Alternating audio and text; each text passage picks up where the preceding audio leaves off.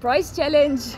Guess how much these five most common food items cost in Nepal? You get 10 eggs. 10 eggs, 200 rupees. 500 milliliters Coca-Cola. 85 rupees. One loaf of bread. 70 rupees bread. And lastly, milk and cheese. Fresh milk 120 and cheese 250 rupees. So all of this for 725 rupees. How much would these things cost in your country?